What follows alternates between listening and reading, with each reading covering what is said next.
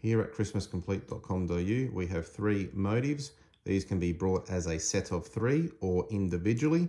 These are on an aluminium frame and are connectable. So you can connect all these together with just one power lead.